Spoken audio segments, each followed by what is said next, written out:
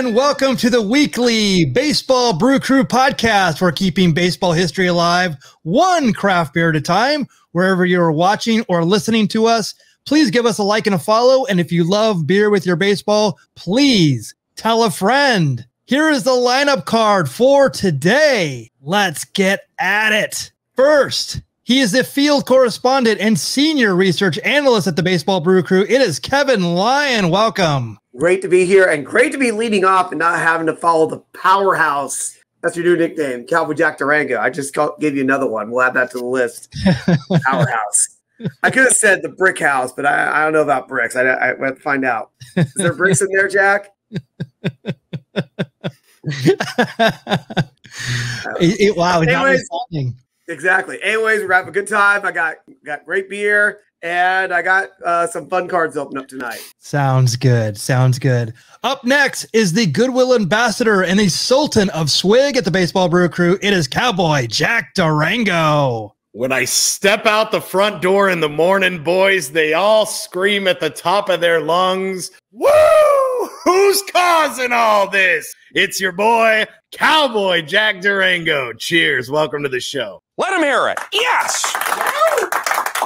And I, I love the uh, white on white uh, Cincinnati Reds uh, lid that you got on there. Uh, Cincinnati like actually, um, we don't talk a lot about current baseball a lot, but Cincinnati looking pretty good these days. My my Reds are looking good. This is the hat that Pete Rose uh, wears pretty much all the time nowadays. He was wearing this hat in uh, the cameo, and uh, that you guys got for me. Thanks again. And uh, my son I just I wouldn't pull the trigger because uh, the MLB shop was trying to charge me fifteen dollars for shipping, and I would just like refuse to pay for it. But I would just always stare at it longingly, just oh, I want that. And then over Mother's Day, they had free shipping Mother's Day, which uh, so I jumped all over it and got got my lid, man, looking fresh. Nice, nice. Look it looks good, really I like it. You're taking advantage of the Ladies' Day. Good job. Yes. no, I, I, know how to make Mother's Day work in my favor, boys. Right.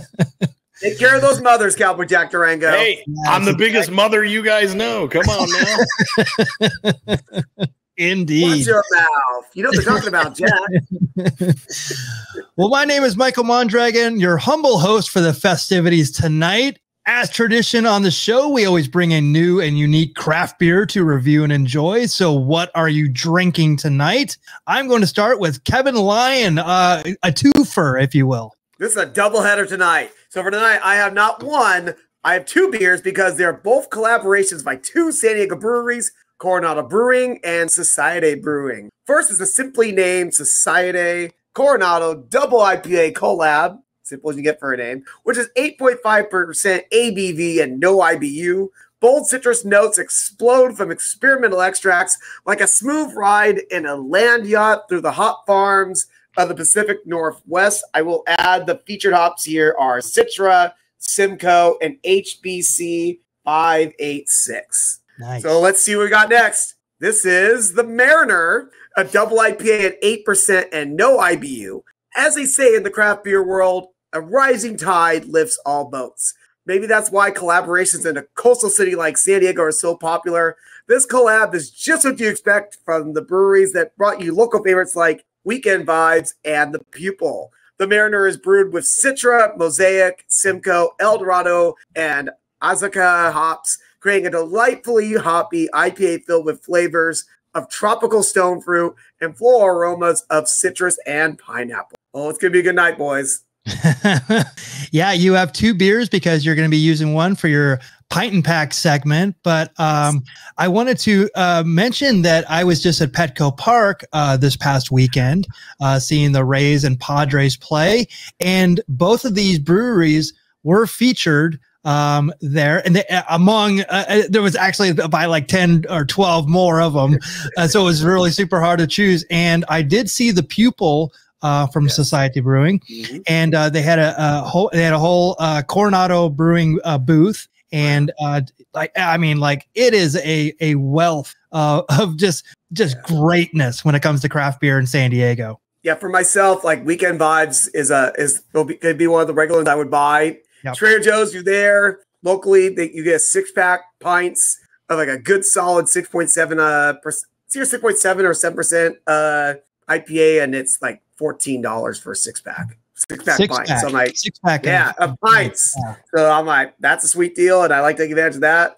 Like Coronado, they've actually had beers in the past. Angel Stadium, I don't know recently if they have. I still I haven't seen it recently, but it's great to see two breweries like this just come together. And right now, I'm having the the uh, Societe Coronado Double IPA, and it's def- it's it's definitely a good uh, lunch beer, Jack. I'll tell you that right now. At eight point five, it's a good. Lu- it's got it's no 8.5? IBU, but it's got a pretty good little like some hops to it. It's not for the amateurs. Definitely not. I like it. I definitely like it a lot. Yeah. And, I- uh, Let me add to um, I want I got mentioned something that I just found out from doing a little bit of research here. So um, Societe's been around since uh, 2012, and the idea is that beer is the world's greatest social uniter. So I, I you have to do that, and uh, they do have a rally cry on all their beers that say "Beer Folk Unite," and we Yes. always unite, of course. For every recording here for the Baseball Brew Crew podcast, and Coronado Brewing is actually started in 1996 as a brew pub on Coronado Island. So they've been around 27 years. How about that? And check this out. This tells you how much things change. At that time in 1996, it was one of five breweries in San Diego in 1996.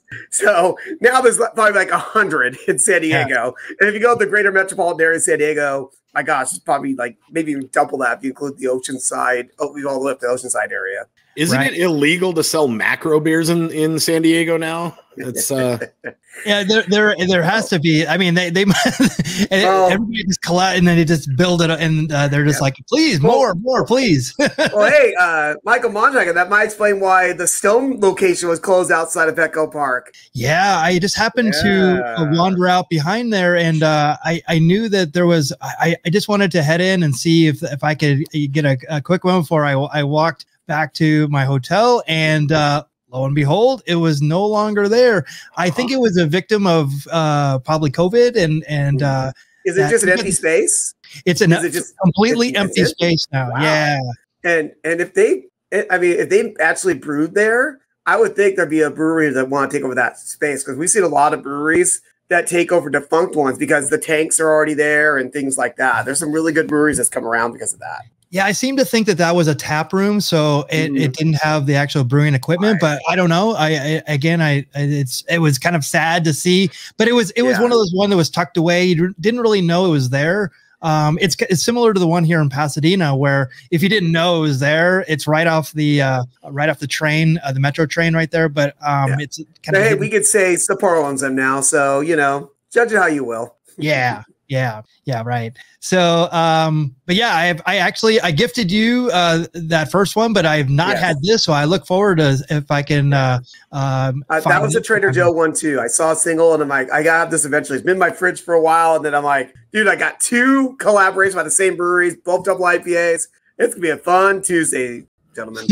fantastic great one thank you for that all right jack you are up My craft beer for tonight is La Luna the Moon, quadruple hazy IPA by Dark Sky Brewing Company, brewed in lovely Flagstaff, Arizona. It's a 12% ABV and a 30 IBU. This beer is the last batch of Dark Sky's 8th anniversary IPAs, and it's a doozy. A dangerously smooth and easy drinking quad hazy with Yakima Chief Citra hops, Citra Cryo hops, Mosaic, Mosaic Cryo, and Simcoe, all dry hopped to make this lovely quad hazy IPA. Aromas tickle the senses with mango, ripe tangerines, subtle peach, and a sticky, sticky dankness.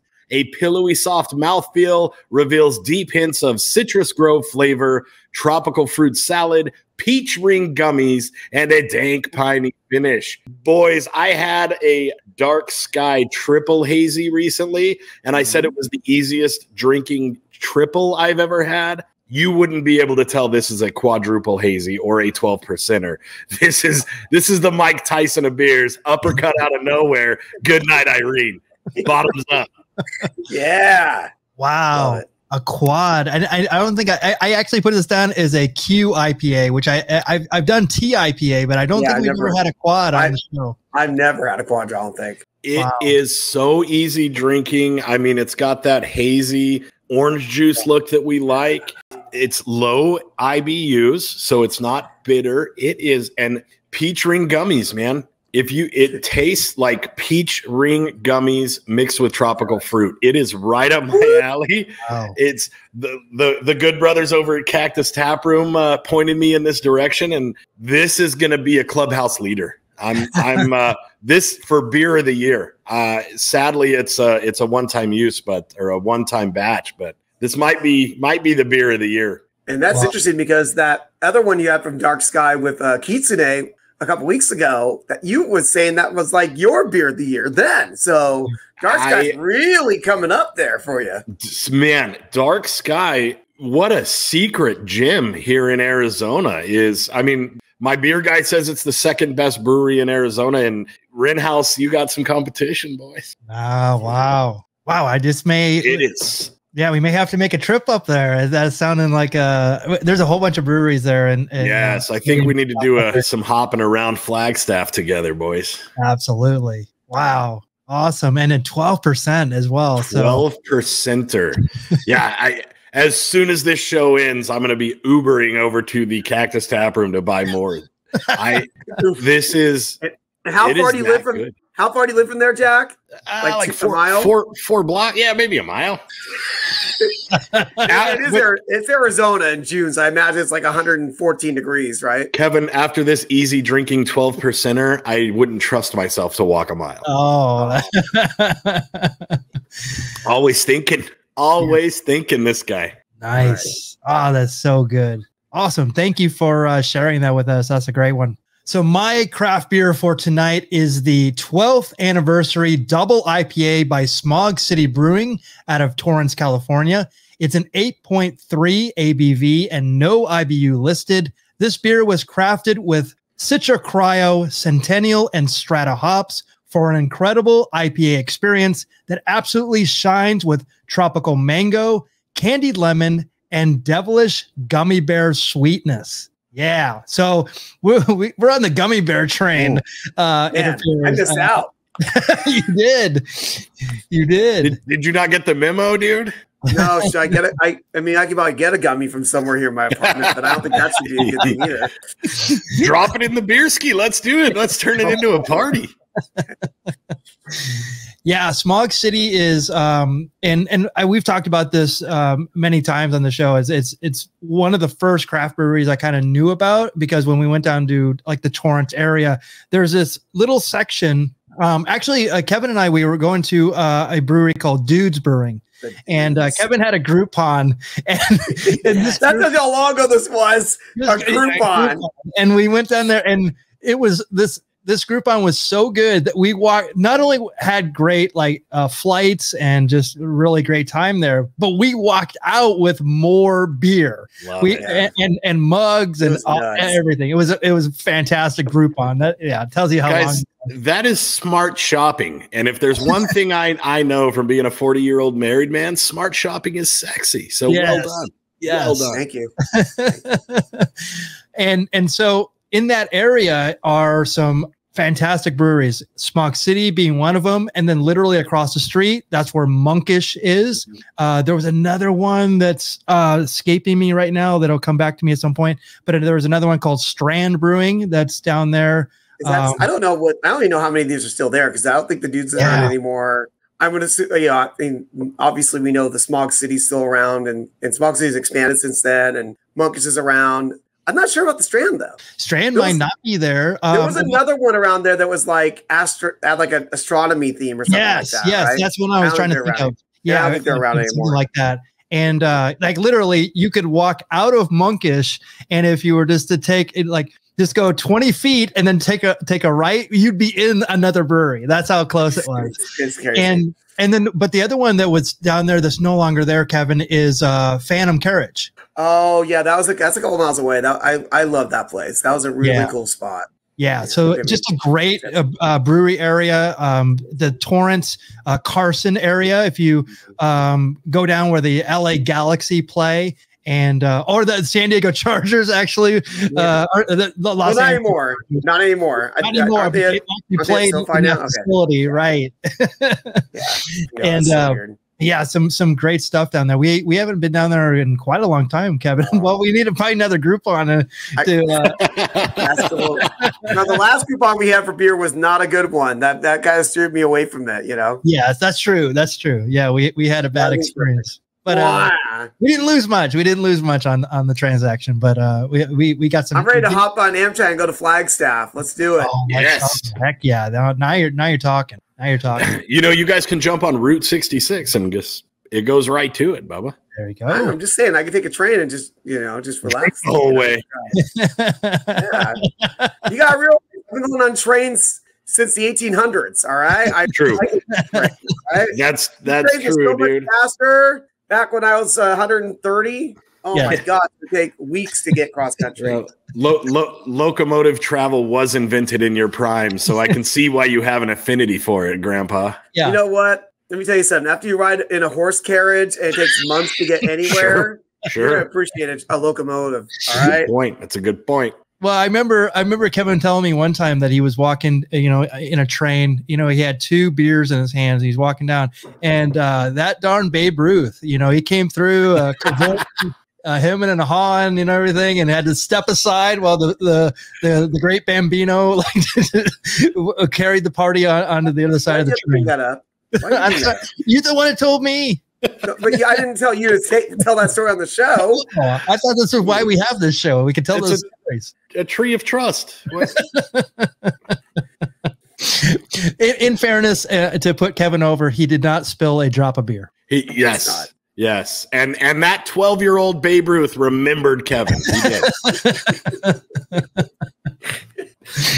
Ah, good stuff. Good stuff. All right. So let's do it. Let's do this week in baseball history for June 27th all the way to July 3rd. I'm going to start out with a uh, a fun one that we've talked about on previous shows, but I, it bears repeating because this one's fun. June 27th, 1977, after offering the job to Twins legend Harmon Killebrew, the Rangers hire Billy Hunter as the team's manager, making him the club's fourth skipper in a week. Texas had replaced the fired Frank Lucchese with Eddie Stanky, who left after one game due to homesickness, resulting in third base coach Connie Ryan, who refused to assume the position full time, becoming the interim manager for six games. So, can you imagine they had four managers in one week? And I didn't even know, I didn't even realize, I, I should say, that Harmon Killebrew could have been a major league manager and turned it down. Yeah, yeah. that's that's very interesting. Is that because he didn't want the job, or he realized how bad the Twins were? You know what I mean? I don't know about how these teams. Or, or you know, the the, the Rangers during let's see, I seventy. was just say the Rangers, but you know what? Actually, it might be a thing. He might not want to go to Texas. There there seemed no upside of being the manager of the Rangers or being on the Twins at that time. Yeah, either or is bad situation. I, I want to say if Killebrew's retired by then, I think he actually lived in California, if I remember correctly. Okay, So you know what I mean? It's like you know, hang out in California, retire. Or you're going to travel around as a manager when you probably got made a pretty good amount of money as a as a ball player. yeah, yeah, and I, I remember these uh, 1977 cards. I love that the the Bill the the Hunter uh, Billy Hunter uh, as a player as a manager. I was like, I I don't even remember Billy Hunter as, as anything actually. Yeah, no. yeah. I do like we have the Connie Ryan 1952 Topps card up there. That's a nice little touch too. Yeah, you know what? That's the only picture I could really find of him uh, in any capacity. So uh, yeah, he was yeah, uh, obviously on the Phillies. Are- Are we are we- are we just not going to acknowledge that in this story there's a guy named Eddie Stanky? Eddie Stanky. We're just gonna we're gonna drive right past Stanky. Like, where Yeah. did Stanky come from, and where did he go? Where'd you go, Stanky? He went home. He, He, went homesick. home. Come I- on, Stanky. The Something was going on. the inventor of the Something was stinky leg. The Stanky leg. See, what I thought you were going to say, Jack, is because you look at that man up there. It's a why is no one talking about Frank Lucchesi? And that's because none of us wants to disappear. yes. You Ah. I thought that's what you're. About, you know, Now, is it Lucchesi or is it Lucchese? Lucchesi. it's I, Luke Casey, and it looks like Sorry. Lucchesi. I should have known. Yes. Should have known. Yes. And I, Yeah. I, I had to like literally write it phonetically so I pronounced Oh, okay. it correctly. Luke Casey. I- hopefully the wrong people didn't aren't watching this because Yes. you might I might not be here next week if uh you know if if, if they find out. Watch your back as you're walking the train tracks to Radiant. yeah. I always do, sir. Always do. yes. You Yes. you really think the mafia could take down a Highlander, dude? Come on, you're fine. Uh, all right, Kevin, you're up next. All right, we are going to June 28th, 1986. Cleveland knuckleballer Phil Niekro and California right-hander Don Sutton become the first pair of 300 game winners to start against each other in this century. Both future Hall of Famers pitch into the seventh inning, but neither gets a decision in the Angels' 9 to 3 victory at Anaheim Stadium. Uh, So I, and I, I don't remember if I was at this game. I was going to a lot of games around this time, but I don't recall off the top of my head being here or not. Just throw that out there. Yeah. it's amazing that you would have even been close to this game. And, and uh, I was down the street in Anaheim. wow. So here's my fun, and I and I'm so happy you have the photos here. All right, Cowboy Jack Durango, are you ready? yes. John Sutton on the right in the Angels jersey. How old do you think he is in 1986? In I'm guessing that 1980, In that, pho- I think that photo would be 86. Don Sutton in 1986 was 42 years old. Very close, sir. 41. Good job. Good oh, job. wow. Wait, Wow. wh- what month was his birthday? It was April. All right. it was I asked April. I did research. All right. Don't worry. I, don't All right. worry. All right. All right. Don't worry. I got was you. two months off, bro. That's You were not close. bad. No, he turned 42. The fall. He just turned 41. 41 is what I'm saying. He just turned. Ah, All right. So Phil Niekro. How old do you think Phil Niekro is in, in the- this photo in 1986? Phil Niekro is a lot like Arn Anderson, where he looked like he was 50 when he was 20. So this is where it gets dangerous. I am going to say Niekro was 38 years old. You're slightly off. That guy, Phil Niekro, is 47 years old and he's playing Major League Baseball, Yeah. pitching Major League Four- Baseball. Seven. 47. Yes, sir. All right. 47 years old. Well, Um, what is it with pitchers back in the 80s? They could they could go into their 50s. What's the deal? I mean, I know that because you well, that I'll bum Nolan Ryan did it his Yeah. whole life. and he's the exception because he was a fa- he was a fastball pitcher and his arm kept held up Yeah. somehow. So, Michael, why don't you explain to to Jack why him and other guys would be able to pitch that old in their life? Well, Knuckleball. Well, yeah, yeah, oh, you knew that. Good Yeah. job. Yeah. sure. What, Yeah. what are you talking to me for? You like I don't know. I know No, baseball. Of course not. They call me Jackie Ball Game, pal. All right, Yeah, sure. knuckleball. Yeah, I, I would contend that the uh, the wear and tear on on your hand uh, would be just as much as on your arm. I mean, the, Yeah. and it, it's it's a pitch where sometimes you don't even know where it's going. So and you're like pushing it as well. So yeah, it's it's it's incredible that he can do that at, at a high level at, at Yeah. this age. It's, it's very impressive. And I would think too, um, Jack, this guy might look familiar to you as well because I, I want to say he's the inspiration for veteran pitcher Eddie Harris in the documentary called uh, Major League. As you say, it's Yes, documentary. he absolutely was the inspiration. Yeah. Yes, Yes. And we, we didn't make mention of this uh, last week, but I talked about um, the, the remember the snake around uh, Julio Franco. Yes. That was also uh, kind of like the in uh, the major league and and you know Jobu and all that Yeah. stuff and, and really, added into that. There's a lot of there's a lot of that. oh, yeah. man, Um, what a great, greatest yeah. baseball documentary of all time. There's also another guy named J- uh, Jamie Moyer who actually almost I think he pitched into his 50s. Um, I don't know if he went close to that it. It, it, it went pretty close. Yeah. It was very close. And uh, and, and Joe's brother Phil, you know, uh, pitched pretty late. In his, he pitched pretty late too, and I'm honest, he pitched into his 40s as well. yeah, That, Yes. That's definitely not really a thing anymore. Jamie Moyer is like the last guy who's ever going to pitch in his 40s, probably. Who knows? yeah, We'll that's yeah. They, they I remember like um, Bartolo Colon. I think is like the only person that's kind of Yeah. gotten close. But um, yeah, they won't. He, he looks great too. He's he's still working out, still doing anything, and they he will he can't get another Yeah. chance. Uh, Adam Yeah. Wainwright is um Yeah, He's Wainwright's up there. Kershaw and like Verlander are probably some of the older pitchers who might have a few more years in them. We'll see. Yeah, that'd be it's awesome. I, I love old guy stories because it's like it, it's perfect for baseball. Like you don't have to eh, be a certain age or a certain uh, size Yeah.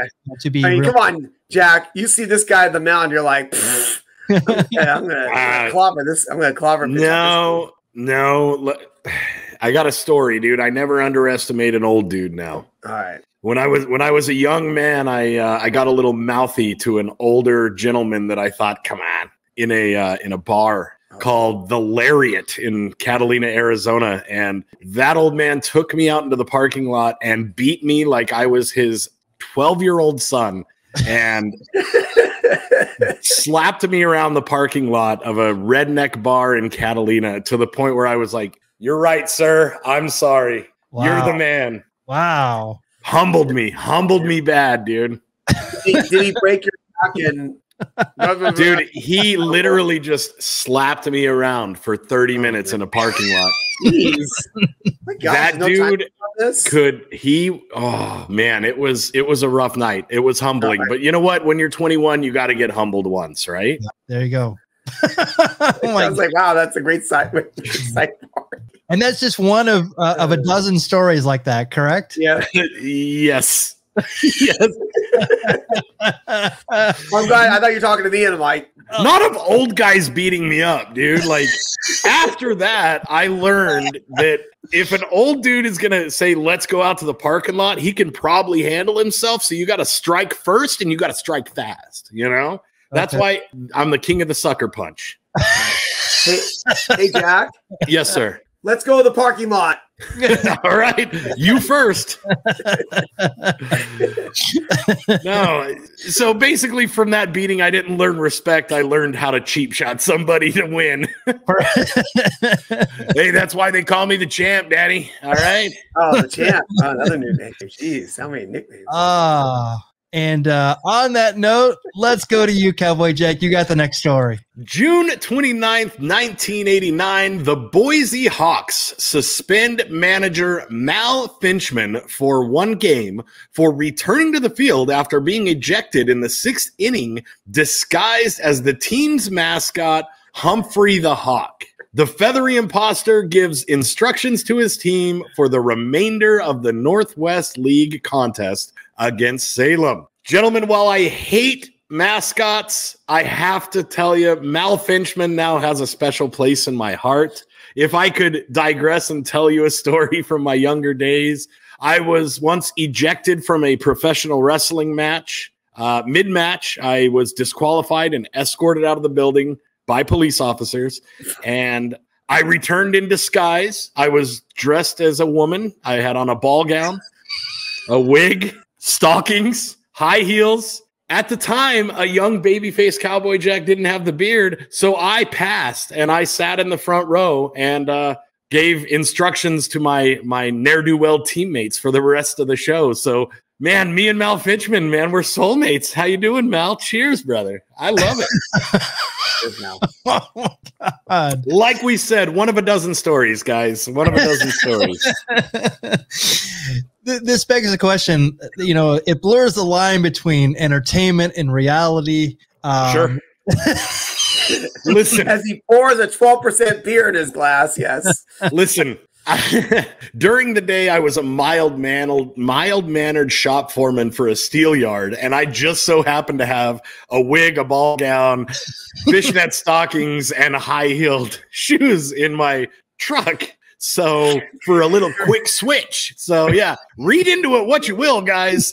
But what that tells me is Cowboy Jack knows how to party. You didn't pull a quick switch like Bill Murray robbing a bank. That's, that was a good move. Yeah, that's a deep cut. Sorry, oh, I'm good at those. oh so good so good oh that is fantastic yeah. Slam dunk uh, i don't i mean like we should shut it down right now but um we still we still have more I'm sure I have more stories, dude. Uh, well, I'm Awesome, sure we'll dig them out. We, we may have to do a patreon after dark uh, Yes, we should. Brew Crew after dark uh, I am still a person of interest in a lot of those stories. So let's do it after dark. man. Let's make somebody pay for it if I'm going to go to jail, dude. Pay for your bail. As we say at the Baseball Brew Crew, a lot of these uh, statutes of limitations have expired. So uh, no, oh, wow. Oh, no. Still a per- still a person of interest in at least My bad. three stories. So my bad, my bad. moving forward. No, we're not talking about those stories. We're talking about June, my birthday, June 30th, Michael Mondragon. What do you got Yes, for we me? are. All right, so let's do it. June 30th, 1908, in New York, Red Sox legend Cy Young hurls his third career no hitter. June 30th, 1948, in Detroit, Cleveland right hander Bob Lemon throws the first American nighttime no hitter. June 30th, 1962, in Los Angeles, Sandy Koufax becomes, becomes the first Dodger left hander to throw a no hitter since Nap Rucker accomplished a feat in 1908. So, Three all on June 30th, huh? Yes, and and that's what um, I love looking at this because there's as as we go down the line of like all these you know these day this day in baseball history. Uh, whenever I accumulate all the no hitters, it's actually there's there's numerous ones on different dates, and uh, this one happened to have three uh, from some pretty prolific pitchers. Uh, obviously, one the Cy Young Award is named after the very first one. Oh, Um, really? Yes, you would you would yes. oh, that makes a lot of sense, dude. Okay. All right. Yeah, Man, I love baseball. What I love baseball is the Easter eggs, you know? The more you learn, there's little Easter eggs. Like I never would have put that together, but there it is, dude.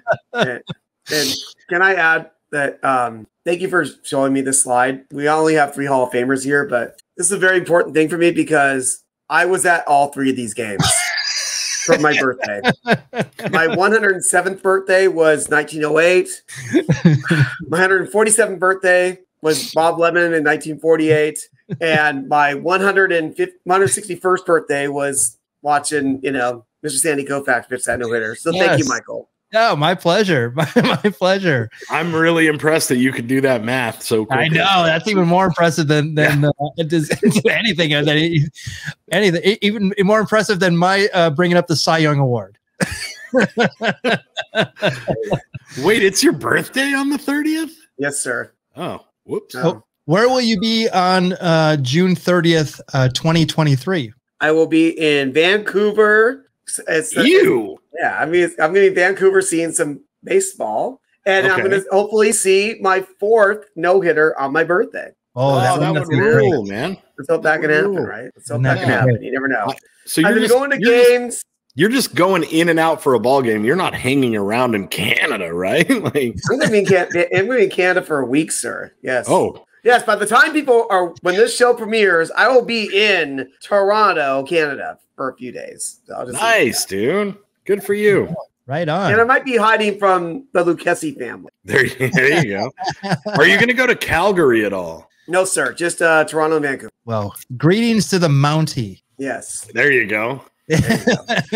Jean Pierre Lafitte. What's the other You know, guy's name? Yeah. Um, but um, Jacques PCO. Rougeau. Oh, Jacques Yeah. Rougeau and PCO. Yes, prob- whatever his name is, Mr. Roulette. Whatever. Yeah, I knew that. Edward Carter Carpentier. There we go. Yes, there you go. Ooh, Exactly. wow. Deep pull. Deep Yeah, that's, pull. yeah, that's a yeah, that's a, that's for the old folks. But- Yeah. I'll tell you now, though, for the last 60 years, since 1960, I've been going to a game every day on my birthday, hoping to see another hitter, and it hasn't happened yet. So hopefully, this time on the 61st anniversary, I can finally get another note. Perfect. Love it. Love it. All right. So, Kevin, you are up. All right, July 1st, 1990, as Comiskey Park celebrates its 80th birthday, Yankee pitcher Andy Hawkins throws a no-hitter against the White Sox, but loses the game four to nothing. The right-hander is not credited with an official no-hitter because the home team doesn't need to bat in the bottom of the ninth inning. Yeah. So, um, Kevin, have you,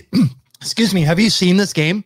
I don't recall seeing this game, but I had to hashtag. I had to look up a little bit into it. And one thing I'll add to this that makes this even more interesting: this is the last time, this is the last game the Yankees ever played at Comiskey Park. Comiskey Oh, Park wow. done- yeah, it was done in this game. Yes, it's not the first time a guy lost with getting a no-no, but in obviously in this case, it turned out not being a no-no. But it's definitely one of the more interesting ones for sure. Yeah, I actually, I think, if I'm not mistaken, this game is actually on YouTube. Um, it's actually the full game, either that or MLB, um, in some capacity. But anyway, I've I've watched this game, and you know what happened during this game that kind of made how he lost is it was a really windy day, so a lot of the uh, there was a lot of errors in this game. I have all I have all the notes. I have the notes at the inning. So Oh, okay, One thing crazy too was through the first like five or maybe six innings, it was a no hitter on both sides. Both Right. pitchers were getting no hitters for part of the game. Right. So it was no score. So it, he actually, and then the eighth inning, he got the first two batters out, and um, this young kid, Sammy Sosa, came up and reached first base on an error by by the third baseman on the uh, you know on the Yankees. So then um, Andy Hoggs up walking the next two batters, uh, and then so bases loaded, no score. Up comes American hero Robin Ventura, Cowboy Jack Durango. Hopefully you remember who he Yes. is. Good, you remember who. Yes. Good job. And he actually hit. You mentioned what happened about this about the wind. He hit a ball that you know was misjudged by the outfielder, and it it it glanced off his glove and ended up being a two base error, and it actually all scored. The, it cleared the bases. All three runs scored. So three unearned runs on an error. So technically, it's not a hit, and it was three nothing. And then um, I think we had another error where a guy lost the ball in the sun. Yeah. I think it was like the ball dropped. Yeah, Jesse Barfield like misplayed a, misplayed a ball hit, and the ball just dropped, and Rob Ventura scored, and it was four nothing. Yeah. no, no, yeah, four four runs on a no hitter. That's rough. It's so it's so odd. And he Yeah. he pitched really great, and it was just like those just those miscues uh, put it And, over. and yeah, and in the end, they end up not making it a no hitter. And appar- and a couple years later, they actually had an emergency meeting with uh, Fay Vincent, the commissioner of baseball, where they determined that a no hitter has to be a complete game, like nine innings. You know, so yeah, That's how they determined, like, nope, this doesn't count because he didn't pitch a complete game. And, That's you know, it won't be the first. It's not, the, like I said, it's not the first time that a guy actually lost a game without getting a hit. It's kind of crazy that's happened a few times. over Yeah. years. yeah. I think uh, it happened recently. I thought. Um, Okay. I'm not sure if it's happened since 1990 off the top of my head. I I want to say that it was during 2020. Somebody, uh, someone did a, a, a similar thing. You might want to check this because um, oh, I think it was Bad Bunny. Oh, bad Actually, I have a question for Jack. You were saying you're a person interested in some stories. You know nothing about that headline on the top of the Daily News there, do you? Okay, thank you. I was waiting for somebody to see that. For those of you listening, uh, this is a cover of the Daily News, and it says "Man hurls tot tot T O T from rooftop." Now, uh, this might have been the Michael Mondragon story had I not gotten out of. Uh, I, I, I- in 1990, I would have been 20 years old, so I got out of there. Um, but yeah, that might have been the Michael Mondragon story. Like, okay.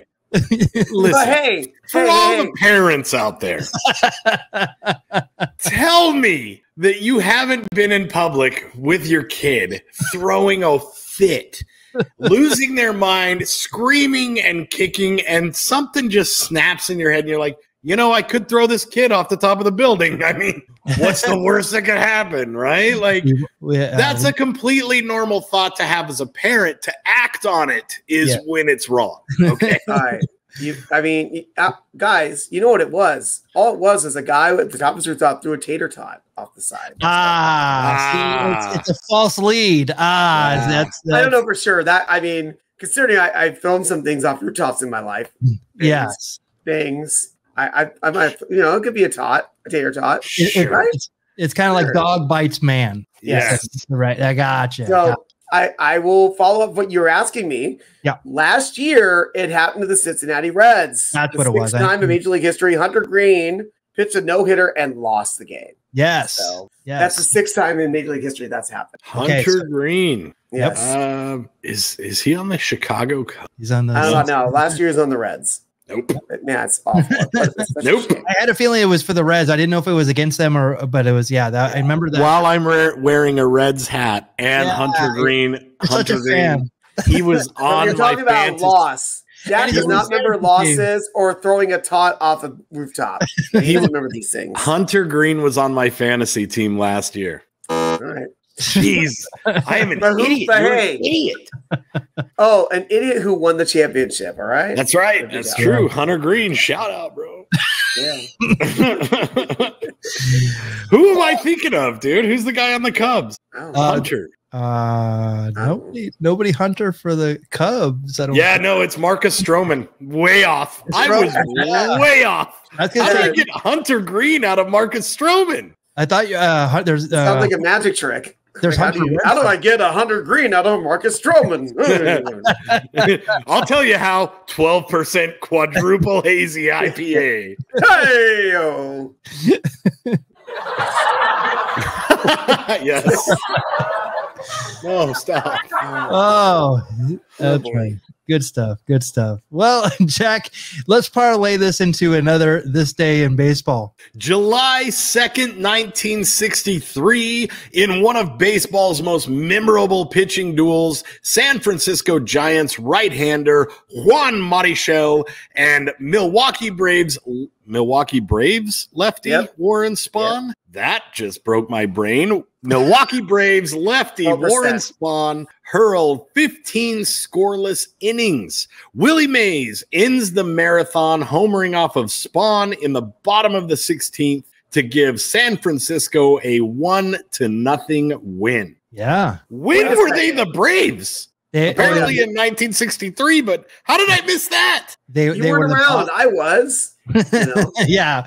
They were the Boston Braves, and then they they went to Milwaukee, and they then went to Atlanta. and they went to Atlanta. Yeah. So this is right before that. I think they went to Atlanta. But did you hear what he said? When did what?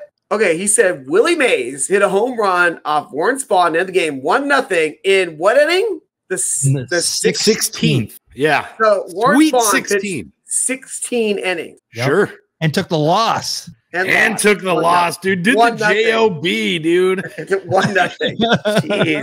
Brother almost went Broadway and then did the job. Oh, Warren, Yeah. what are you Almost doing? a double Broadway. Jeez, that's like the two-hour time limit. You know, it's like a Texas death match. It is. yes. And and they both had very storied leg kicks, as you can see here. yes. So Rock they head- rock head level. that day. Yeah.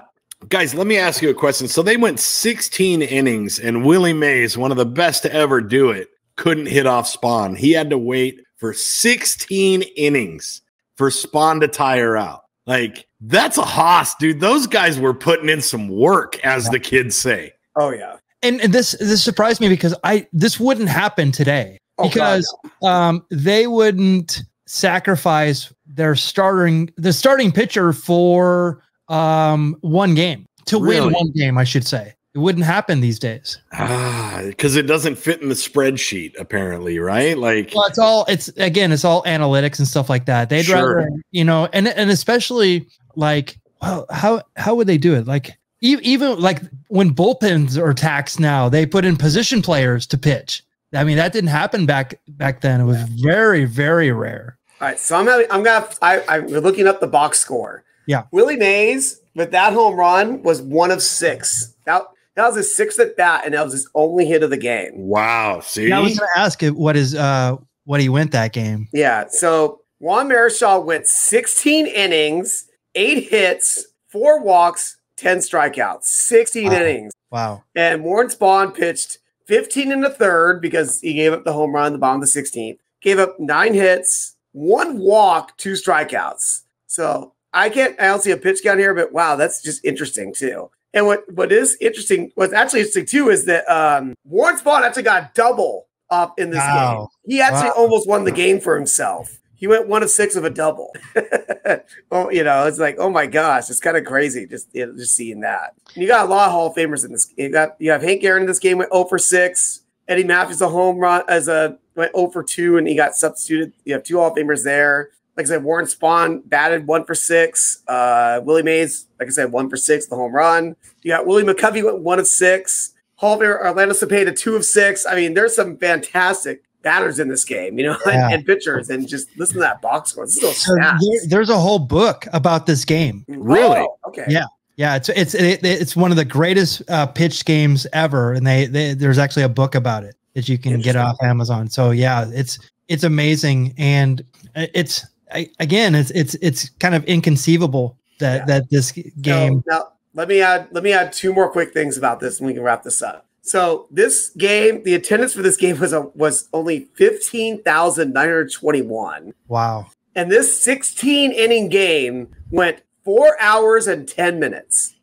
Oh, so that that's about that? that's. I mean, that's half the time of uh, one of the World Classic games. yeah, yeah, exactly. Yeah. Went to World Baseball Classic games this year. Yes, I, I, I went to a game that was like the seventh inning went four hours for sure. Yeah. Right. Right. You had a 16 inning game here that went that long. You know, interesting. Well, I Still- mean, the ga- the games that I just went to in San Diego, like they were uh, like about two and a half, maybe two forty five, and uh, they went. s- I, again, I'm I love baseball, so like I'd spend four hours there Sure. without without question, right? Yeah. But everybody was loving the fact that it was under three hours. Short form content, Daddy. I mean, that's where it's at. So, who do we have here on the left of the screen? That would be So Warren Warren. Spahn's on the left. Yeah. And All Brian right, so on the right. If you showed me that picture and told me it was from a Hollywood movie, I would say that is Michael Rapaport. There you go.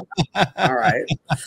We've talked, you we've talked about Warren Spahn a lot in this show, but we've never had the Michael Rapaport. comparison. no, not a bit. More First more time Jimmy for everything. Durante than than uh, Michael Rapaport, but Oh, that's right. He was Jimmy Durante. Yes. That was Jack. That's Yeah, a couple weeks ago. Yes. Yes. Good stuff. Good stuff. Um again, this this this game is is absolutely 16 incredible. What's the name of that book? Eh, you know, I don't um it's like maybe the, the greatest game the greatest Ever pitch pitched? game ever or something like something to that effect. I'll yeah. Yeah, you should definitely look it up. Meanwhile, I'm going to go to uh, the final this day in baseball. July 3rd, 1936, San Diego minor leaguer Ted Williams, pinch hitting for the pitcher in the seventh inning in a game against the Angels, gets the first professional hit. A long single off the right field fence at LA's Wrigley Field off Glenn Babler. The 17 year old Padres player stays in the Pacific Coast League contest to replace the pitcher he batted for, retiring the side in order, but to be removed from the mound in the next frame when he gives up two home runs. That's right. Ted Williams was a 17 year old minor leaguer in the Pacific Coast League for San Diego. And if you know uh, anything about uh, San Diego Padres history, and uh, again, I was at the uh, Petco Park this weekend. Ted Williams is a big part of uh, their history and getting them. I remember, I, I think it was uh, maybe when the when the Padres first started. Uh, Ted Williams was uh, involved in it, and he didn't he start as a manager, Kevin, as of the I don't remember off the top of my head. because they were supposed to go to Padres or not. Washington. Because he was managing Washington. He was definitely managing Washington at some point. because th- during that time they were supposed to go to San Diego. In, in fact, like they even had- oh, yeah. they even yeah, had okay. baseball cards that said uh, uh, National League or something like that. It was like it was. And Uh, then I wonder what kind of deal got made because they ended up going to the Rangers. The Senators became the Rangers. Right. So there, there, he was involved in a lot of the stuff about bringing them to San Diego, but he he's a part of uh, San Diego baseball history. In fact, if I'm not mistaken, also there's a Ted Williams like highway um, in San Really? Diego as well. Yeah. So he uh, again the Pacific Coast League uh, for those who don't know uh, was a it's a storied baseball league that um, you know uh, when I was a, a kid uh, the Phoenix Giants part of the Pacific Coast League the Calgary uh, Boomers or was it uh, Calgary um, yeah I think it was the Boomers uh, the Edmonton Trappers there there are so many like amazing uh, teams during that time so yeah, There is a Ted Williams. There is a Ted Williams Parkway. It looks like it's part of like the California 56, which I believe I, I think that's somewhere south of Del Mar. If I'm Okay. going to hear the of it. yeah And I'm like, all right. I'm like, okay, that's interesting because that might be the area he grew up. He might because he is from the San Diego area. He was from the San Diego area. So, like, if I do a quick Ted Williams Freeway, I love Ted Williams Freeway, San Diego. I'm like, bam, there, there it is. It's like, oh my gosh, it's so funny. You just find this stuff. yeah So yeah, it's a little south of San Diego, off of Highway uh, 56, which I'm not exactly sure where that goes to because it looks like it just goes. It's uh, like northern San Diego, like a little south of Del Mar. If you want to see it and take a photo of the sign, you know, you can Right. see that. Right. I think the the like the Del Mar Fair is over there. Uh, yeah, you would go. Yeah, it looks like it's an exit a little south of that, and the, the 56, and you just take that. yeah, yeah, and and uh, so I, I I said I was just in San Diego, and I love San Diego so much, and uh, that has a lot a lot of storied baseball history, and uh, yeah, Ted Williams played there, At 17. seventeen. Mm. Somebody should have gave uh, young 17 year old Ted Williams a sandwich because that kid was. we need to put some meat on them bones, kiddo. he, all right. he got it. He got some meat on those bones. Don't He Yes. was fine. he did. Yeah, it was 1936. He didn't have the the you know the advantages that other ball players have in future generations. he had beer, bro. He couldn't, excuse me, 17. He's not drinking beer. It's that's about help. 1936, dude. Come on. Who's not? Who's who's stopping a 17 year old kid from drinking beer? Me, because I want it. That's a good point. So Kevin, like, okay, so sir. four, like four, maybe six years after this, what uh, was it? Uh, four or six years after this, he was uh, in in a war, right? Yeah, because he, uh, the, I mean, technically the war would have started around the end of 41, early 42. 41, Uh, you yeah. know, the Pearl Harbor was December 7, 41. Whoa, Ted Williams was in Vietnam. Actually, yeah.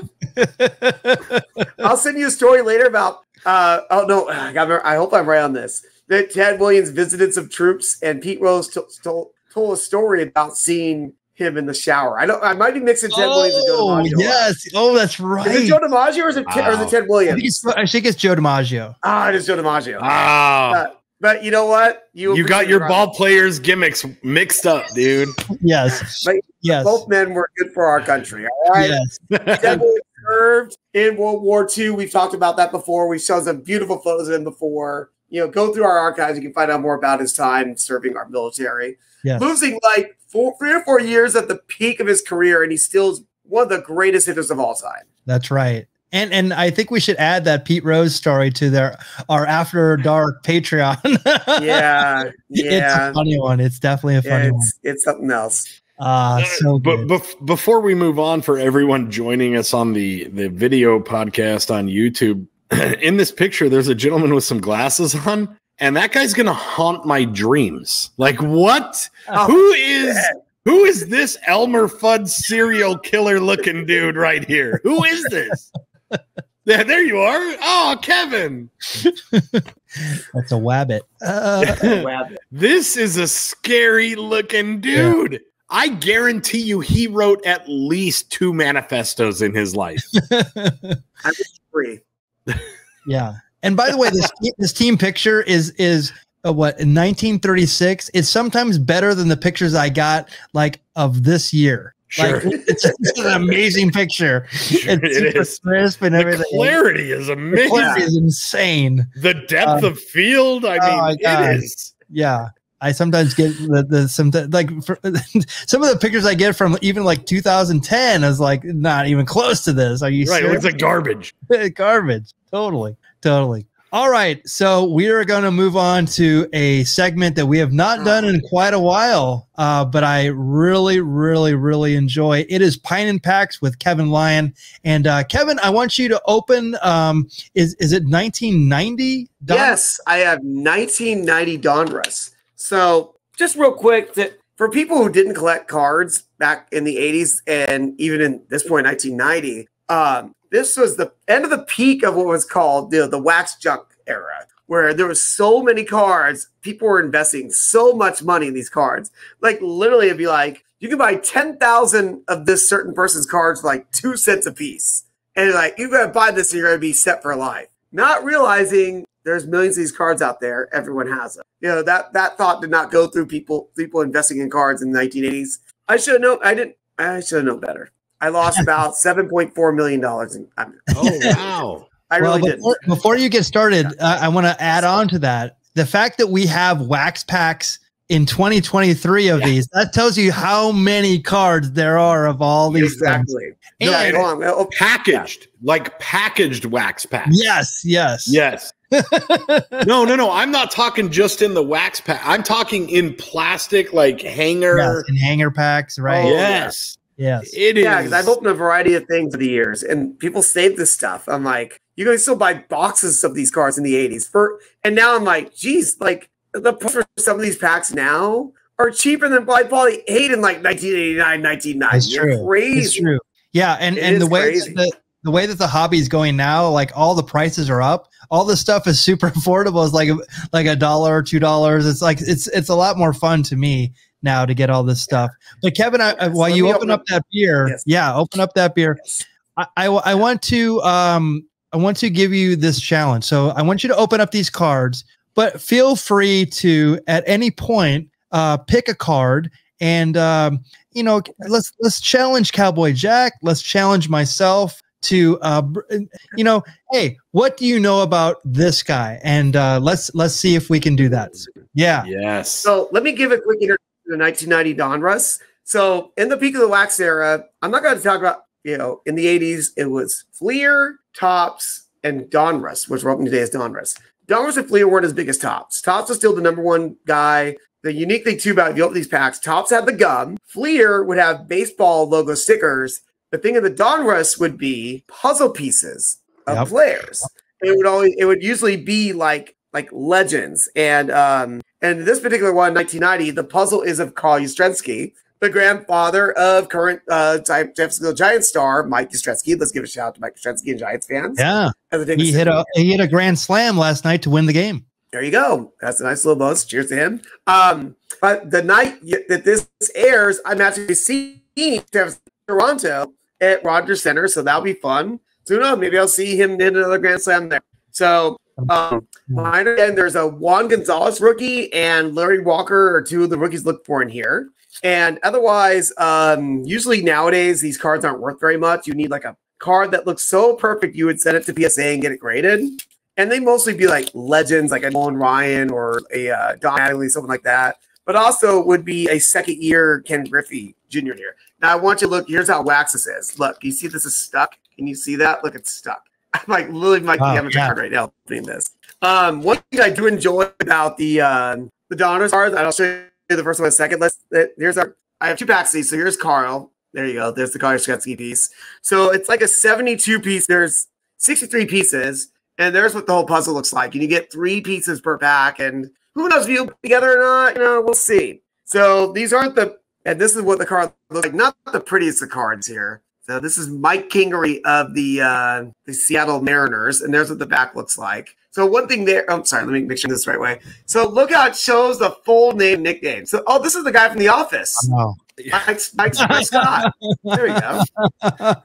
I guess he has a four day Kingery. So that's nice. So you get that, and you get um, you know, his basic stats too, and uh, and it says like his contract stats because we really need to know that.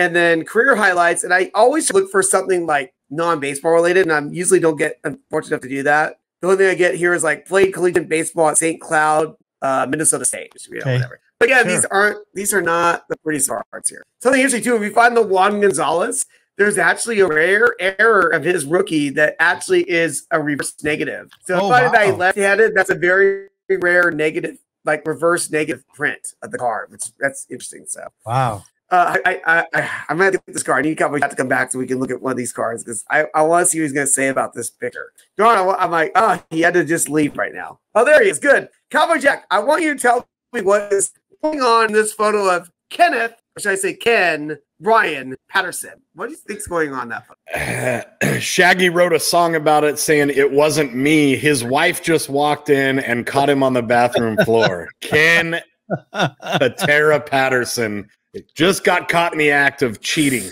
It wasn't me. There you go. so uh, I'll leave it at that because I don't have any fun facts. Uh, that's one thing I, I do like look for. Sometimes I'll find some great fun facts, but you know what? Jack gave the best fun fact we'll have about that gentleman. um, a very good shortstop who just keep it going. This is a very good shortstop on the. Uh, oh, oh, I love it. It's Octavio Antonio Fernandez, but you can call him Tony. It literally says Oh, Octavio yes. on the back, wow. and I believe he didn't he pass away like last year. Michael, do you remember? oh, offhand that? potentially. Let me. I'll look him up real quick. I thought he did, but oh, I hate, I hate to. Is this I'm not- I hope I'm 1990? Yes, it These is, cards sir. are not. Dude, the, the font is just, it's like Miami Vice. Tony Fernandez. Yeah. Like, Yeah. Tony He died in, uh, Octavio 2020. Tony. Yeah, okay. I, I thought I read that he passed away. I was like, oh, Yeah. so, so sad to see. All right, we you gonna have one of the. Well, hopefully live forever. All right, we're gonna move on here to speaking of someone who's gonna live forever. Michael Mondragon, you talk about a veteran in baseball. Is this guy right here, Julio Cesar Franco? Yes. This guy was literally coaching in Korean baseball in 2020. I don't know if he was still batting or not, but this guy was a guy who was like Phil Niekro related to is at least 47. Yeah. Really? He doesn't. Like, he doesn't have a snake around his neck Yeah. though. No snake. Yeah, exactly. You're talking about that's we were talking about earlier. Yep. Yep. And I was hoping I could find some fun facts about him. But again, these are all baseball stats. We don't need to know about baseball stats. We don't care about baseball. Yep. No, I, I mean, we're looking for more. We're looking for more than that here at the baseball brew. All right, here we have a uh, a, vet, a guy who be a veteran infielder, Glenallen Hill here for Oh, the, yeah. uh, the Blue Jays. Yep. Outfielder. I thought he played the infield too as well, but there you go. Pretty good player he- there. I only remember. I Remember, know he, played hit that home run at Wrigley Field for the Cubs. That one that um, Ah, we talked about that. there's a famous video. Like you can't even tell if it's fair or foul. He hit it so far. That's the Like, one he- that went on the uh the rooftop. That's the one on the rooftop. We actually talked about in the last destroyed month or so that on ball. the show. It there was we go. Good timing. insane. So, fun fact about Glenallen Hill I thought his middle Yes. name was Allen.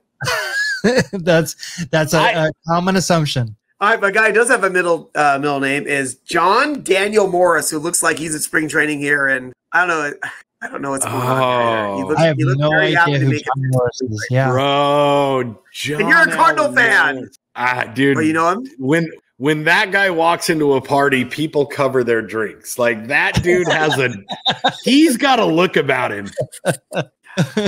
I love it. So, um, a, a thing that was uh, pretty famous for Donruss, and it still is on to this day because Donruss, there are still Donruss cards you can buy. They're part of the Panini company. You look for it's called the Rated Rookie, and unfortunately, this ended up not being a great Rated Rookie. But this is a picture of Alex Sanchez on the Blue Jays, who I have no recollection of him. So he was a rated rookie, but he wasn't rated very high, unfortunately. But you know, hey, he went Hey, to can't- UCLA, good player, but They, they can't all be winners, Kevin. They can't all be winners, baby. but you know what? If you get your own major league professional card, you've made it. All right. sure, you did make it. of it. course. Some made it further than others. Um, uh, the other famous thing about uh, Donruss baseball cards was, is what this is right here. This is called the Diamond King. This is the kind of king with the artwork here. So in each set, usually there would be um, one Diamond King for a player from each major league team every year. So it'd be John Smoltz here for the Braves, and this is pretty early for Smoltz, if I remember right. This is, and I love they tell the story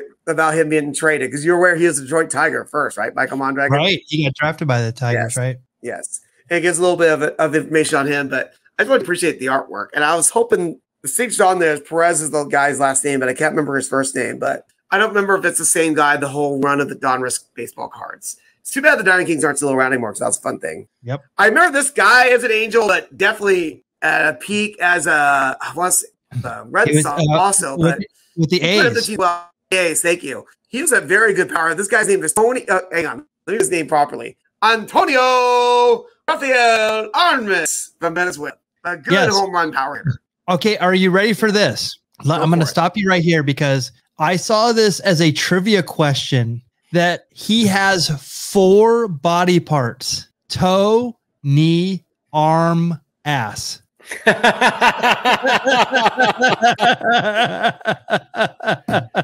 Uh, that's wonderful.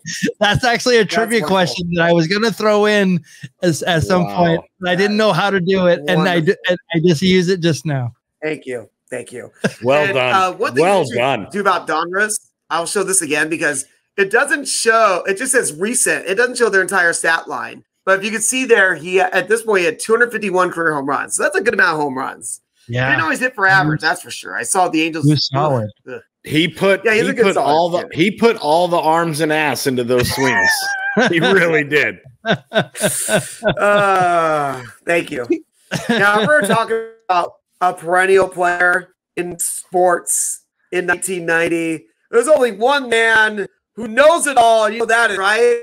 That'd be Vincent Edward Jackson. There we go. Oh, we know that no. Bo knows baseball. We know Bo Nice. knows football, but Bro. Bo doesn't know. Did- Bo doesn't know diddly. Don't walk on. Oh, the no, cover, no, Jack. that's true.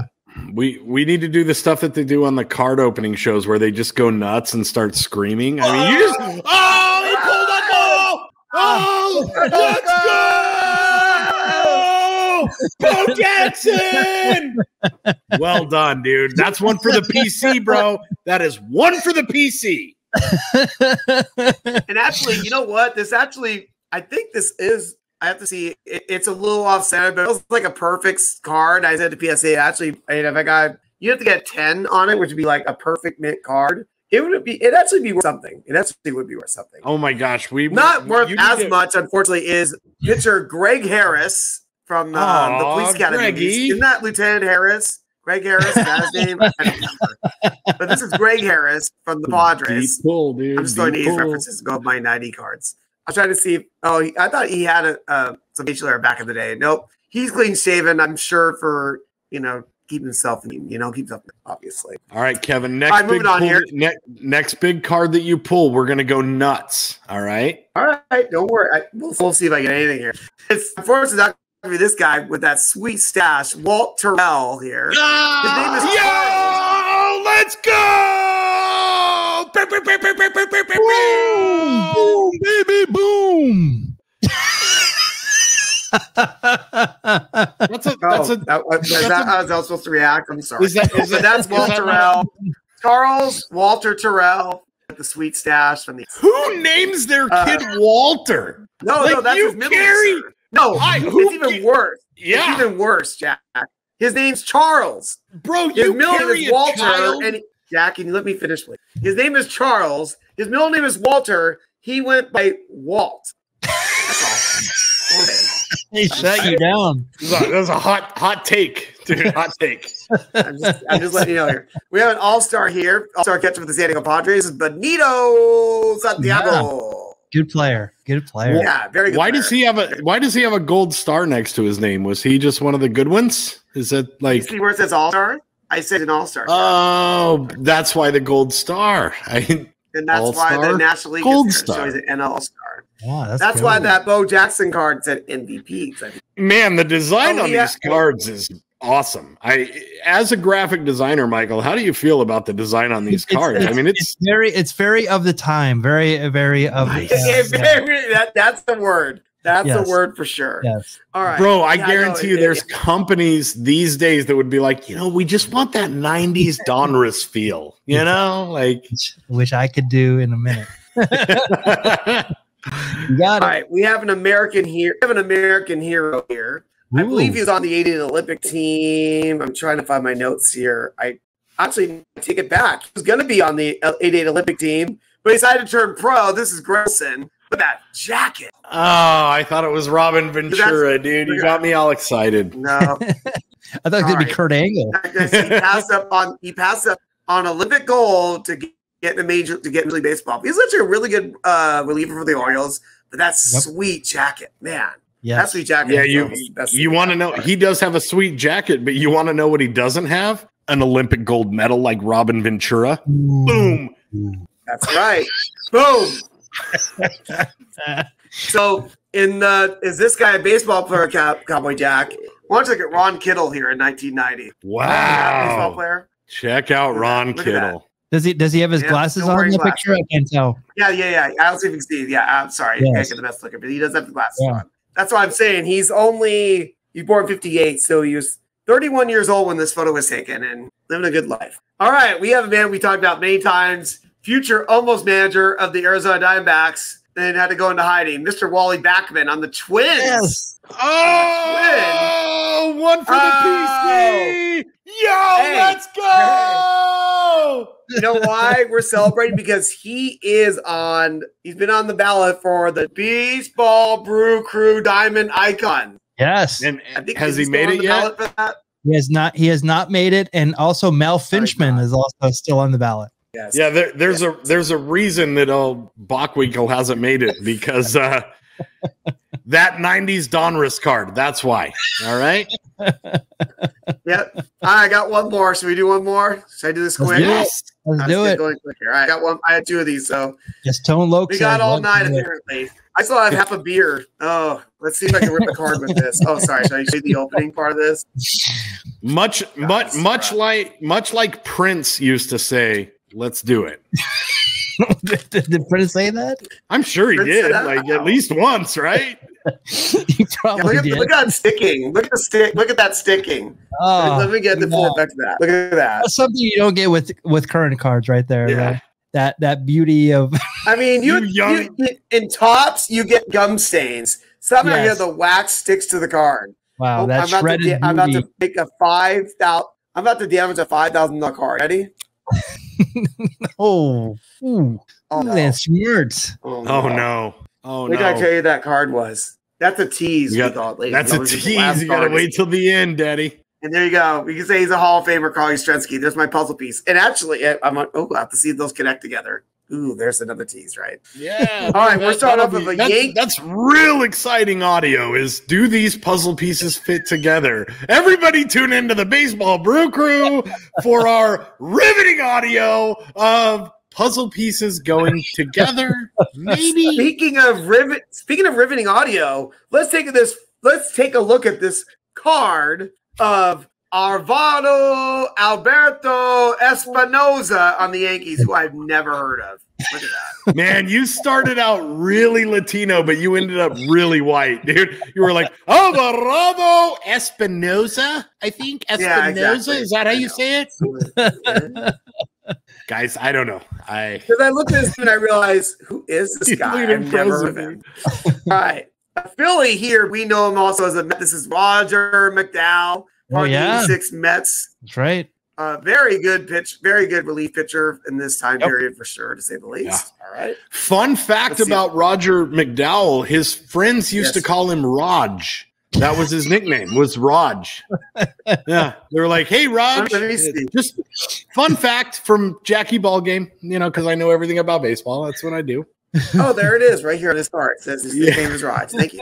Thank you. Man, I need some Brewers here, guys. We're getting this Yankees and Blue Jays. I feel like another Blue Jay I never heard of, Charles Maggie. Douglas Cary. Oh, No, uh, Cary. yeah.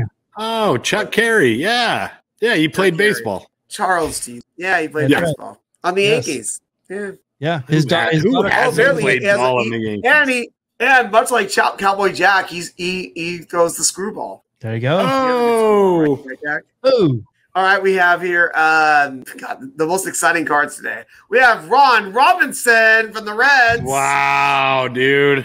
Represent the Ron Robinson. the Yes, Ron the Robinson. That's not like- that's not the guy that's dating your mom, dude. No, that's Ron Robinson. All right, Cincinnati Reds, great. Look at that. I would say- I mean, just admire that photo.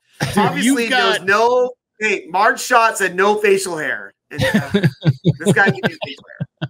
So I- I know you guys aren't Cincy fans, but I'm going to just clue you in here. In in in this lore of Cincinnati baseball, you have Pete Rose, Johnny Bench, and then a close third is Ron Robinson. I mean, he is right there. Cowboy Jack did the three Reds that he knows. Good job. Jack. yes, I can actually. I can All right, actually we're double. gonna go down. to- I, think I know who he is. I, he was on the Pirates, I believe. But uh, I'm, Oh, I'm- no. please, Kevin, continue, please. All right, I was gonna look, but it only said Reds and Resistory. All right, we're not gonna talk about. We have a catcher here on the uh, Toronto Blue Jays, who I'm gonna be seeing very soon. Not Island Borders, Michael Mondragon, Pat Borders. I'm throwing a deep cut at you if Island Yes, great. He was uh, during those uh, early '90s um, Toronto Blue Jays World Series teams. Yeah, Huh. Yeah, this 1990. So a couple years later, they were winning the World Series. All right. Yep. A guy who was one of my least favorite Angels because he had to replace one of my favorite players of all time, Rod Carew. Wally World. Here's Wallace Keith Joyner. nice. Angels. And I, that guy I'm not as fond of. He's okay though. Sounds like a job. one of my to me. favorite names in yeah, for sure. He's the second best Wally in Orange County. Wally George is the number one Wally in Orange County forever. All right, one of my favorite names in baseball. And you gotta love the the beautiful Montreal Expos jersey. This is Spike Owen. That is Mike legit Owen, first name. Wow. Spike D Owen. shortstop. Oh! Aye. Actually, Shortstop. oh, get get ready. Get oh, I got a backwards card. I got two backwards cards. That means something, right? Look, I have cards that are backwards in my pack. Does that Low mean print. worth something? Low print. No. But I have something that actually might be worth something. I have Okay. something that might be worth something, so I'll save that for last. All right. okay. Here we have all the photos you can get of this guy. I love that Willie Randolph, as a Dodger, has this little hanging low. Is like this keep his you know, He's got his cheaters. yeah, his cheaters. I Cheaters, remember what, they, dude. what to call that. Cheaters. That's a really wonderful late '80s, early '90s cash. Very good, very good. Cheer Willie Randolph. I want to. I'm going to take a sip of beer for, for Willie Randolph. That's one of my backwards cards. That's why that's a special card. Yeah, he was eventually the manager of the Mets, right? Oh yeah, yeah, yeah, absolutely. So my other backwards card is a favorite of yours for sure, Michael Mondragon. Favorite of the show too. This guy at, at this point he's a pirate, but you know him as a cardinal, Mister Andy Van Slyke. Yeah, there you go. There's the pirate nicely done. Oh, I knew I knew to appreciate that one. That Yeah. guy on your world champion uh, 85 Cardinals team. Oh, I'm sorry. Did I say that loud? No, no, no. He I he know, I he, know, threw, I'm he, kidding. he actually the, the ball was hit kidding. to right by uh, Dane Iorg and uh and he threw yeah, it I know. late. I'm just being a smart Alec. That's funny. You know, I'm sorry. Did, He was- did I just was- say your team won? No, they lost to the Royals. Who loses the Royals? But but th- then then he was the he was still the right fielder for the Pirates when they lost to the Braves. Yep, and yep, yeah. Gosh, you got so close, but never got never got the big one. Oh well. Exactly. All right. Uh, a guy. Uh, so we have Reds. I forgot. So this is the Reds win the World Series this year. So I, I would guess that Todd Benzinger gets a ring in 1990 as a member of the Reds. Reds, along with Ron Robinson. How about that? All right. Nice. All right. We have a Dodger here. Another Dodger with a wonderful stash. Look at this, Lenny Harris. There you go. Not no. Uh, yeah, no relation to Lenny Bruce. I would assume, right? Lenny Harris here. There you go. Right. don't I just so. love the sash and the jersey and the look. It's looking good. Looking good. Oh, this, I, I have another card I need Cowboy Jack here for, but we'll we'll keep going here. You Oh, there you go. Cowboy Jack. yes, I did because I have a card here of a gentleman by the name of Eric Show who gave up number four thousand one hundred ninety second hit to. The hit king, Charlie Hustle, Pete Rose, daddy. Good job. Yes. Good job here for that. And and I got and four what more he- cards, so let's. Yes, sir. And what what did he do while Pete Rose celebrated and Marge Schott drove a car onto the field? What did Eric Show do? Ah, he probably walked off the field, dude. I mean, what No. do you do? He took a shower. He was very Did he jump in the car? No, he just he- that would have been like that would have been That would've been great. Instead, he sat on the mound and just almost kind of in a sulking right. pose. really, dude. He got all pouty. And- and- wait, Yes. in a sulking pose or uh, you hit the button, please? No, I want to win. Wah. Wah. yes. In a wham Yes. pose. All right. Show us those cards. All right, let me finish up. I got, Jeez, I got 50 cards here. We ain't got all night. So this is Billy Swift from the Seattle Mariners. I did not get one single brewer today. This is not okay. Uh, let's see here. It says he's a pitcher, but you wouldn't think he's a pitcher by this picture. Melido Perez. It looks like he's playing the infield. Yeah, because he's real. on the very edge of the mound. yeah. Like the pitcher, like this picture, this photograph of this pitcher is taken that he's about to make a play in the field. That's kind of weird. All right. And hey, you'll like this, uh, Michael Mondragon, which I didn't know this. I read this card. He is the younger brother of Pascual Perez. That would make sense. I was going to ask. I did not know that. So there you go. Yeah. So my card that got stuck to the pack and for might be damaged is, and it is damaged. There's a there's a tear on the back of this. Is Steve Buechele. So there goes my there goes there goes my retirement plan. Whoa, no way, dude. Look at that mullet, bro. yeah. I know that's a wonderful mullet. That looks like a ball Yeah, it's a wonderful mullet. But, ladies and gentlemen, I actually have a card that actually might be worth something. It's a slightly off center, but I actually got, look at this, a second year Ken Oh, Griffey Jr. Diamond wow. Game. Oh, wow. This is actually one of the top 10 cards in the set. So there we Wow, go. That's a nice card. I might have to, it's slightly off center, so I, it, I, I might have to get this in again. Yeah, you gotta you gotta drop that in the mail, brother.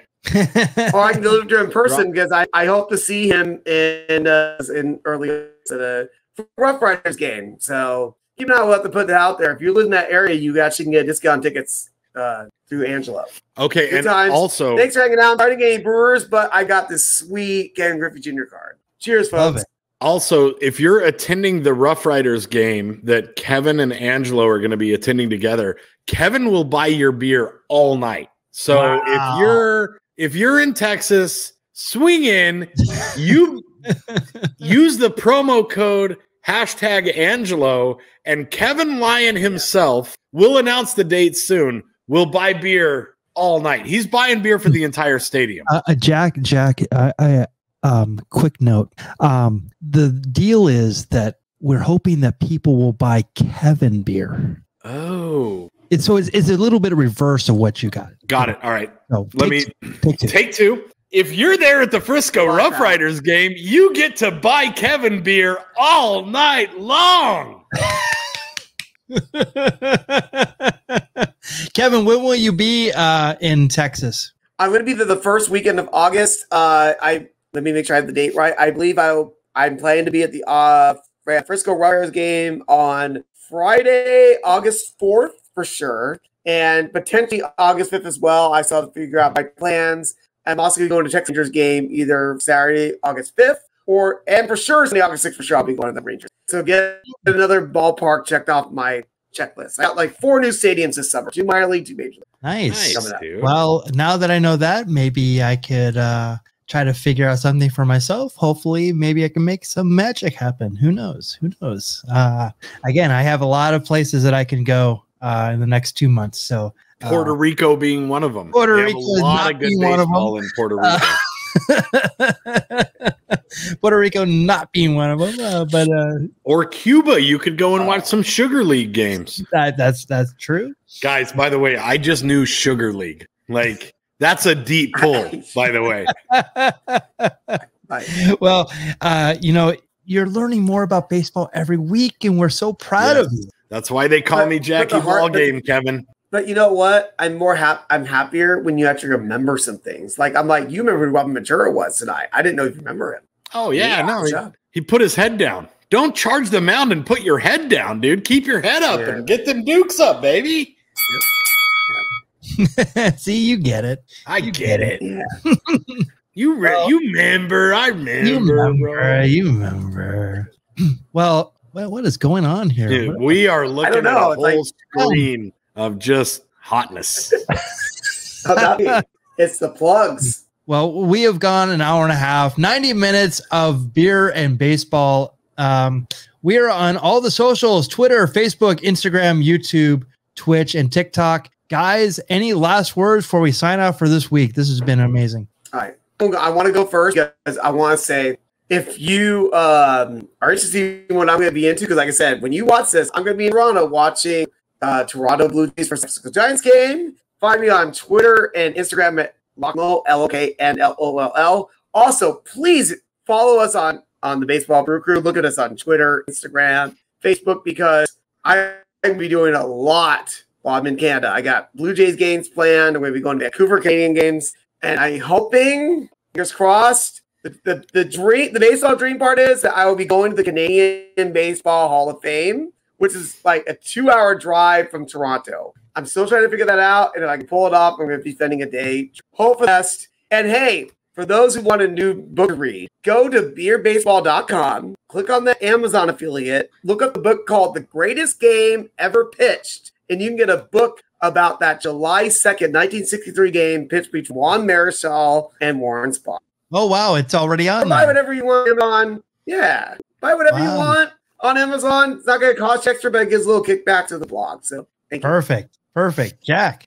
I will say this if you're watching or listening to this show and you haven't found us on social media or subscribed to us, you're a nerd and you're a loser. We are the Diamond Exchange. We are the crown jewel of craft beer and baseball. This is the Baseball Brew Crew every week for three years straight and not stopping. We bring you unadulterated baseball facts unadulterated craft beer facts and unadulterated humor. You're missing out if you're not watching. Like, subscribe. You're welcome. Love it. Love it. Thank you so much. Guys, it has been another amazing, amazing episode. 164 in the books. And uh, hey, we're not stopping. We'll have another one next week. Kevin, you're going to be in uh, Oh Canada. Jack, we'll have you here. We're going to do it again, all over again next Tuesday. So thank you from the Baseball Brew Crew. We will see you next Tuesday with another episode. Take care. Good night.